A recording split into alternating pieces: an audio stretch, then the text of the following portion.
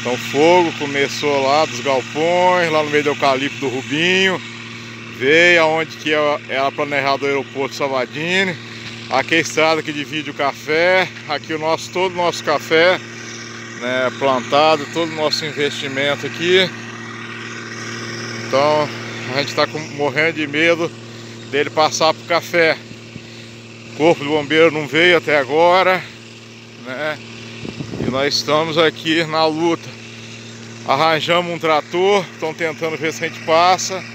Eu tô de esteira para tentar fazer acero, mas nós não podemos arriscar com fogo, né?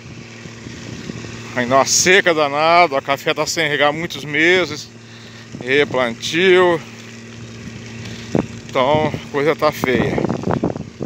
E olha o fogo como é que tá. Deus me livre se a gente perder esse investimento aqui. Né?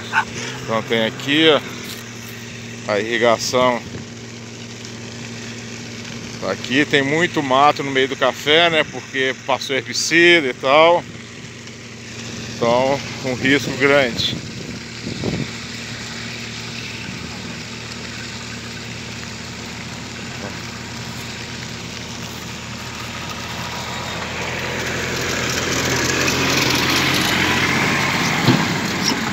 Tentar lá.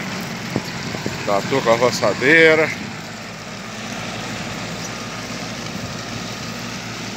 Se Deus quiser vai dar tudo certo aqui, né?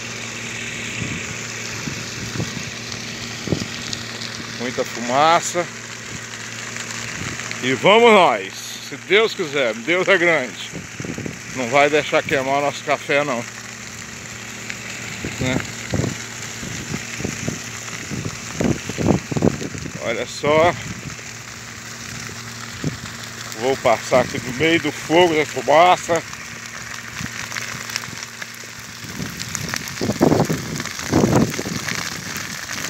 Muita quentura.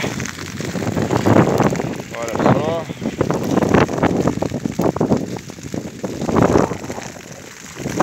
Vento.